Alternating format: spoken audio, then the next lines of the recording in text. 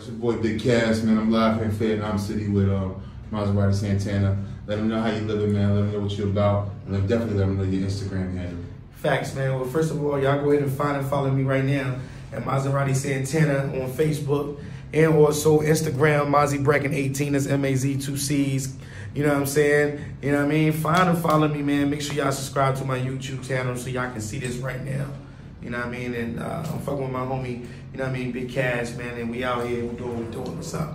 All right, bro. I ain't gonna take up too much of your time, but Okay. I just want to chop it up with you for a second. I know you, um, you kind of, you know, you transitioned from the music. I heard a lot of your music. Your music is so dope, man. And like I said, one thing I like about it is, um, it's kind of like multi-genre. Like you got some trap joints, some island reggaeton, some just hardcore rap, some R&B, all kind of stuff. So tell them a little bit about, um, you know, your music and you know your transition into, you know, how you got your podcast popping off and how you came up in that game and everything. I mean, really, man, like it was just coming from the trap, really. Like with me, like, you know what I mean? Like I know how every other artist be, you know what I'm saying? How you grow up. I ain't taking nothing from nobody, how people grew up, you know what I'm saying? I know how I grew up, and that's my story. You know what I'm saying? I went through a lot of bullshit just to get where I'm at now. You know what I'm saying? The system is corrupted, and anybody that know that, man, y'all tap in with me and make sure y'all, you know, really follow me. I gave my Instagram tag and my Facebook tag and my YouTube tag to y'all, so y'all can really actually tap in with me. So, you know what I'm saying? To understand what I went through. You know what I'm saying? And a lot of people don't want to hear it from me. You know what I'm saying? But I am an artist, but I'm also something else now. I'm multiple things. I wear many hats, you know? I'm a producer, I'm an engineer, I'm a journalist, I'm a TV host. You know what I mean? I'm a CEO, I'm everything, man. So when So it, when, it, when, when it comes to me, Go you know what I'm I mean, I mean cut you off, but um, I was just over there, you know, with you rocking with your podcast, man, and Yeah. it looks so dope, man. I mean, I'm just me, you know, I'm just me for a couple of weeks, but I love what you're doing, man. I see what you're doing, Facts. and what y'all doing over there is dope. Tell them like about the podcast, like where they can find it, what exactly it is, and um, how you came to link up with the podcast and do your thing, and what's your plans for the future with it, where you gonna take it to. Yeah, well, you can find a podcast. Well, it's a talk show. Ain't a podcast. You know what I'm saying? We started off as a podcast. It's definitely a talk show. On the Rise TV, make sure you subscribe. That's how you subscribe. You know what I'm saying? On the Rise TV on YouTube. But basically, how On the Rise TV came in. Listen, man, like they they the system I told you is corrupted. You know what I'm saying? They put me on a bracelet for murder. You know what I'm saying? And I, I, I bonded out of jail and, you know what I mean, came home to my kids, my family. They threw me on a bracelet. They didn't want me to go nowhere. So now I'm stuck in the crib. So now a lot of niggas give up. A lot of females give up. If you have a business or if you're trying to start a business, don't give up because I almost gave up. What I did was I found something positive to come in between the negative. And I started a, and I started a podcast first because on the Rise TV was a was a podcast. But it was bigger than a podcast, what I was doing was bigger than a podcast. I was actually sitting down chopping with artists. It became a TV show. I'm like Steve Harvey. You feel me? I'm like Steve Harvey for real. You know what I mean? I don't take away from no other podcast in Fayetteville. You know what I mean? I remember when I was on the bracelet, none of y'all niggas wanted to tap in with me. I don't, I don't know why y'all So didn't. get by. Let's- Yeah, I mean, yeah, let 'em come by. Real. real Like I said, we, we really in Vietnam City. Yeah. But um, I want I want to ask you something Yeah. building on that. Like like I said, I see I see what you're doing, and like, do you see yourself taking it that? Like, I mean, even from you going from rap to doing this, do you see yourself like hosting like Family Feud, like Steve Yeah, Harvey? I can. Yeah. I see myself hosting anything somebody got a bag about. You know what I'm saying? Because that's what I do. I'm about a bag, and also I have the humor to do that. You know what I'm saying? The sense of humor. I, I have that.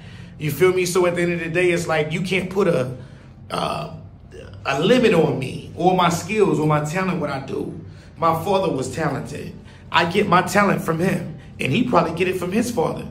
You know what I'm saying? So it moved down in generations. You know what I'm saying? This is just what I can do. Sometimes I was fighting with God so many times because I was just trying to be an artist. And God was telling me, listen, you're more than just an artist. So let me let me ask you one question, because and I'm I'm thinking this because I know you know from experiences people going. You know, I was just with Lizzie and we was interviewing Cakes and he was talking Yeah. about some similar stuff.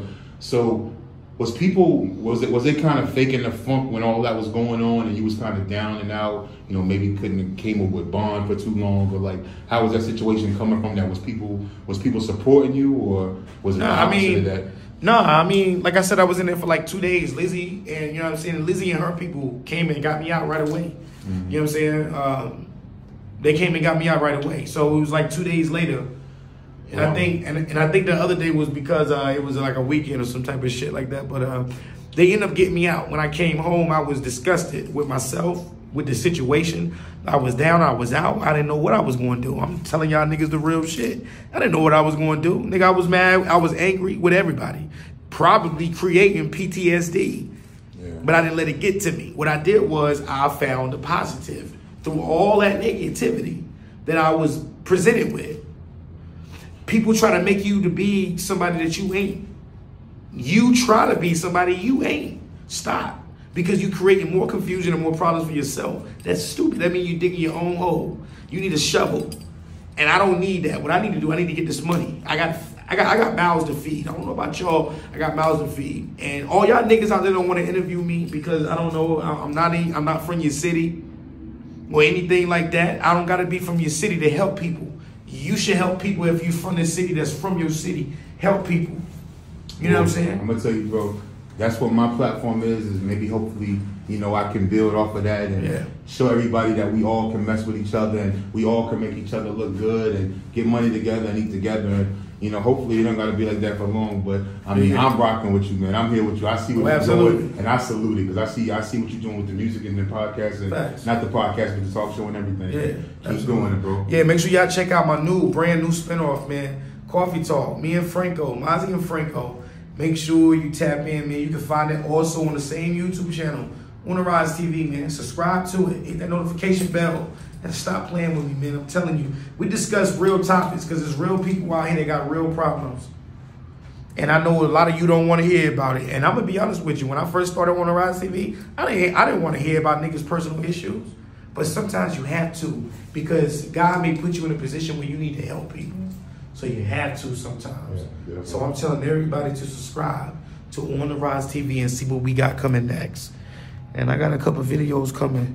you feel me? So tap in with me, man. You already know what it is. Yeah. All right, one. One. Y'all really want to get a uh, a real quick fix? Hey, yo, check this out right here. I'm just saying the liquor store closed.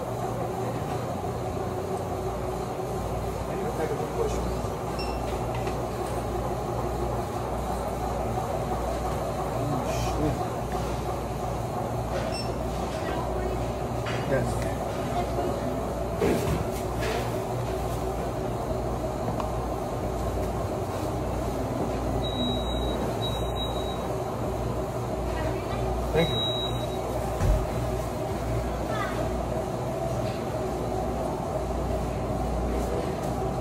Good wet.